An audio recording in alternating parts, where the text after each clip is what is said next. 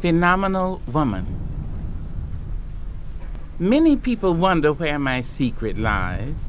I'm not cute or built to suit a fashion model size.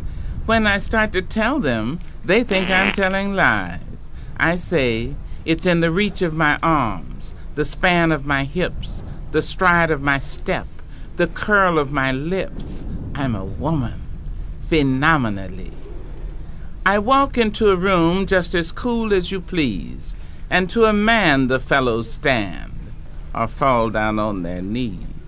Then they swarm around me, a hive of honeybees. I say, it's the fire in my eyes, the flash of my teeth, the swing in my waist, the joy in my feet.